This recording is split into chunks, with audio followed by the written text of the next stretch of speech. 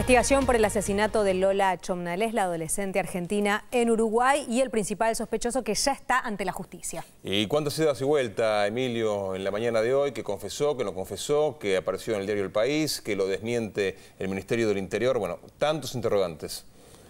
¿Qué tal, Alejandro, Agustina? Sí, bueno, es, hay que aclarar una cuestión muy básica que incluso coincide con el derecho argentino.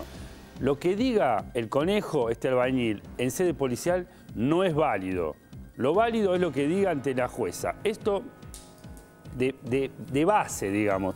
A ver, se mandó un equipo especial desde Montevideo para hacer este interrogatorio policial que no tiene validez en lo judicial. Es inexplicable para mí. Fueron a ablandarlo, ¿para qué fueron hasta ahí?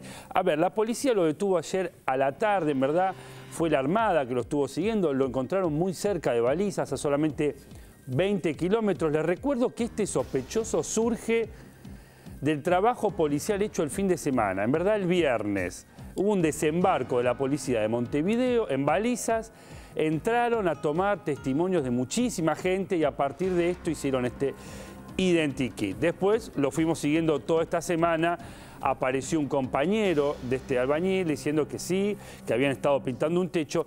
Y si ustedes se ponen a pensar bien dónde fue que estuvieron trabajando ese fin de semana, mismo fin de semana en el que desapareció Lola Chomlales, desde ahí podían ver la playa porque es una casa que está justo frente al mar, es decir, se, tiene una visibilidad de dos kilómetros y lo más, em, digamos, lo que más complica la situación del conejo es que en, un momento, al menos esto dijo Juan Sosa, que es el albañil que le dio una mano porque lo vio tirado, porque no tiene trabajo, dice, bueno, se fue a las 3 de la tarde y volvió a las 6, con plata y una bolsa con fiambre para compartir, diciendo que había encontrado plata en la playa.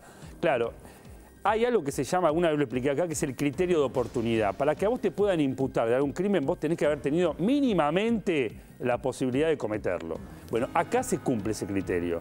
Y yo creo que eso es lo que más complica a este hombre. En este momento está declarando, está el pescador que encontró el cuerpo, está la dueña de, ese chalet que pintaron, haciendo, creo yo, careos. Eso sería eh, lo principal que tiene que hacer la jueza, a ver si puede romper algún tipo eh, de testimonio en contra. Es decir, tiene derecho a la defensa del conejo, seguramente va a tratar, creo yo, si no confiesa eh, ante la jueza, va a tratar de poner algún tipo de excusa. La madre que había declarado ya había dicho, yo le di plata.